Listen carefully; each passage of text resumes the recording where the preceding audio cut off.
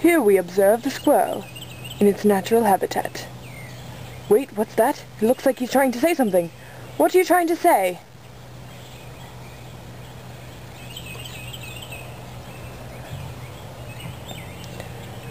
Why, it looks like he's saying, Good morning, Abby. It's Wednesday. But he's wrong, says the bird. It's really Friday.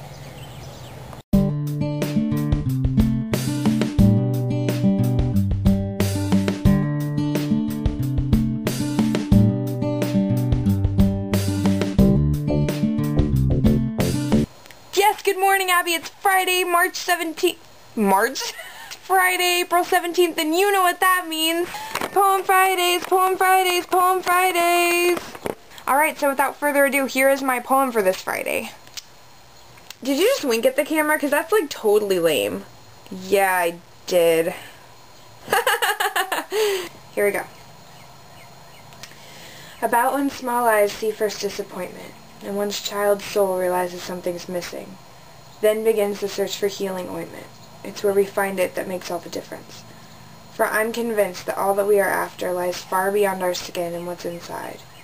And to come outside that dark and tiny prison, I am convinced this is the work of life. To let oneself be broken into pieces so one can be put back together rightly.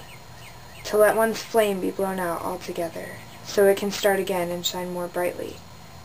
Be brave enough to try doors till one opens.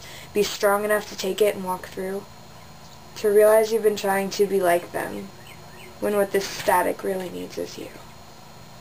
To truly sever ties with the unholy, and dream the dreams of he who breathed the oceans.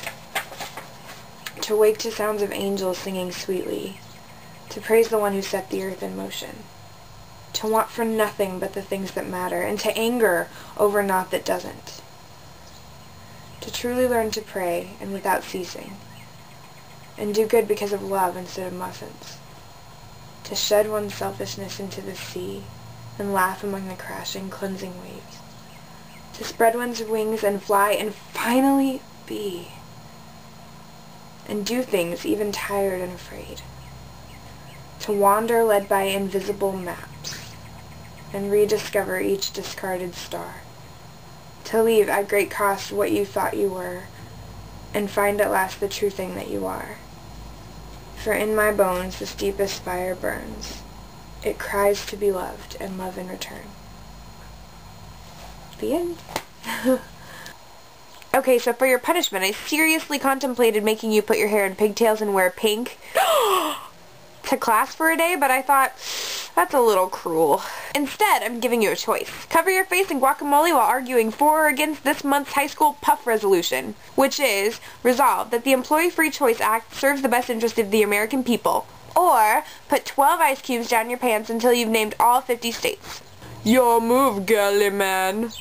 That doesn't make any sense. She's not a girly man at all. She's not even a man. Yeah, but it was supposed to be funny. Well, it wasn't. Alright, so have fun picking a punishment. Um, that's about it. See you tomorrow. Or maybe tonight, actually, depending.